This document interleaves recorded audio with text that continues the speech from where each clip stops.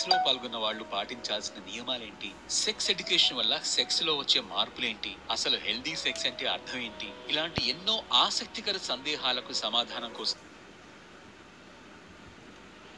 వినండి.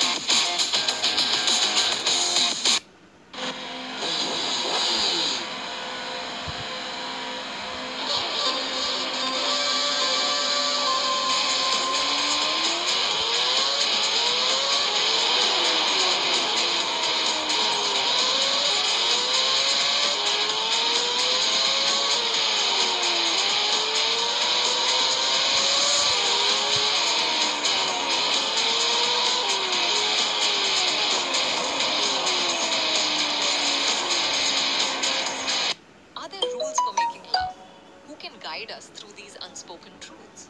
Why does everyone shy away from discussing this?